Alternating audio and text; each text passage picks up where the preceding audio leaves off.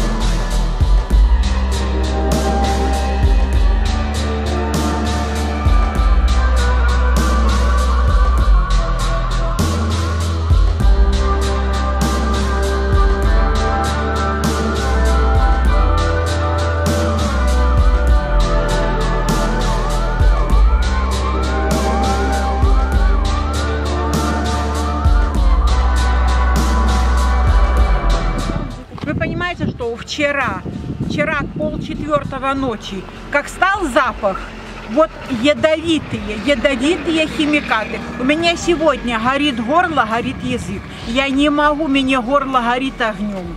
Запаха вообще-то нету, когда ветер не в нашу сторону.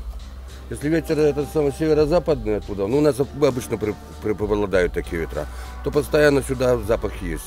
Если ветер туда, в сторону получается, то обычно на шестом микрорайоне, на по интернациональной, вот там ока запах, там люди страдают. И вы знаете, душить, вот углотка лезет и все, углотку не пуская. А вы к врачу обращались хоть раз Да сюда? к- хіба это будешь обращаться каждый раз, як я новонічки днями?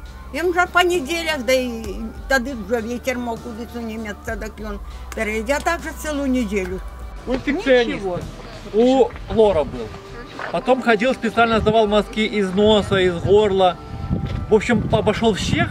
Как только прекратился вот этот вот запах, я имею в виду, было зимой, это помните, самые большие выбросы были.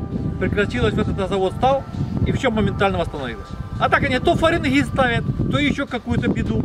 В общем, как будто бы еще это, это внешние причины, которые по экологии, они якобы не воздействуют. А на самом деле все по-другому получается. Ну вот дурно становится. И вообще люди на взводе уже вообще нервная система начинает сдавать. Понимаете? Это чисто технологические проблемы. Я думаю, что их в конце концов решат. Потому что не один был такой завод. Были у нас на химволокно, сероуглеродный. Так что будем надеяться. Другого выхода нет. Нам химия достала. ЦБЗ достала, а это уже вообще непонятно что. Такий запах, что непонятно. Это уже перебор, за предел всему. А власть, думаете, услышит когда-нибудь людей? Никогда. Да никогда, никогда. Не для этого они строили, чтобы закрывать.